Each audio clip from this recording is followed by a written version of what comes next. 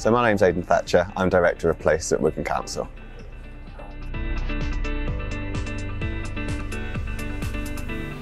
Investors should look at Wigan because we've started the investment journey for them.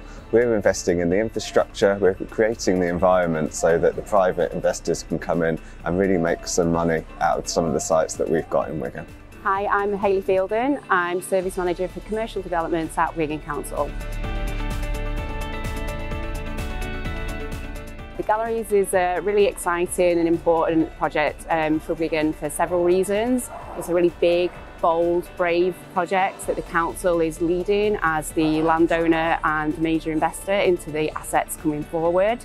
Um, we've taken control of a redundant eight acre site in the town centre which we are repurposing and revitalising, bringing forward a new mixed use neighbourhood with commercial, residential, hospitality, hotel, leisure, new public realm, really great space uh, for Wigan uh, and its residents. So the project's really high profile and ambitious and it's already um, leveraging investment and unlocking other opportunities across the town and the borough, bringing forward further new homes and jobs for our residents.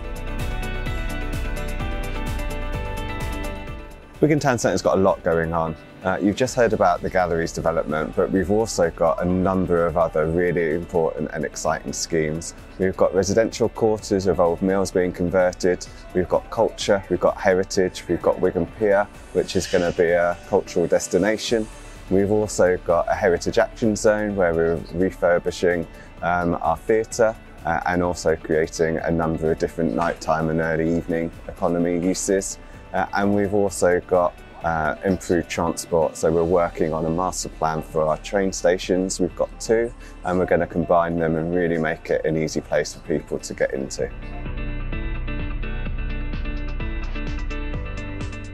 Our focus outside of Wigan Town Centre is predominantly going to be Leigh uh, for the next few years. Uh, we've been really successful in getting government funding in through the Towns Fund and Levelling Up, so we've got £32 million to play with at the heart of that is going to be really investing in our town centre, refurbishing it, and we're making the case now uh, to bring the Metrolink trams to Leigh Town Centre as well.